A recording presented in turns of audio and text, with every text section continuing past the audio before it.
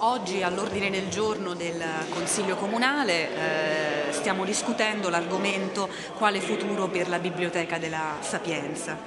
E molti insomma, sono gli interventi di tutte le forze politiche, eh, io insomma, mi sento di rivendicare come Presidente della terza Commissione Cultura eh, diciamo, ecco, un um, valido percorso istituzionale eh, svolto, in quanto abbiamo ospitato eh, il 22 gennaio eh, l'Università di Pisa che ci ha illustrato eh, in anteprima i risultati eh, della, eh, dello studio tecnico della perizia sul Palazzo della Sapienza, che è uno studio congiunto Ateneo-Pisano,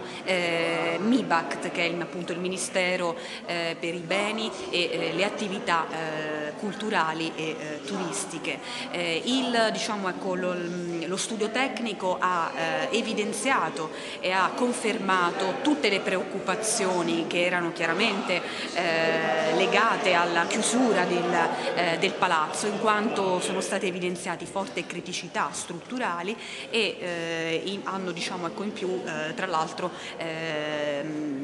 elencato una serie di azioni eh, da intraprendere eh, perché poi appunto il palazzo possa essere eh, riaperto eh, al, al pubblico.